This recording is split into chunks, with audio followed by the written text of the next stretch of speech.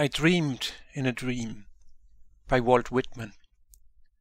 I dreamed in a dream I saw a city invincible to the attacks of the whole of the rest of the earth. I dreamed that was the new city of Friends. Nothing was greater there than the quality of robust love. It led the rest. It was seen every hour in the actions of the men of that city, and in all their looks and words.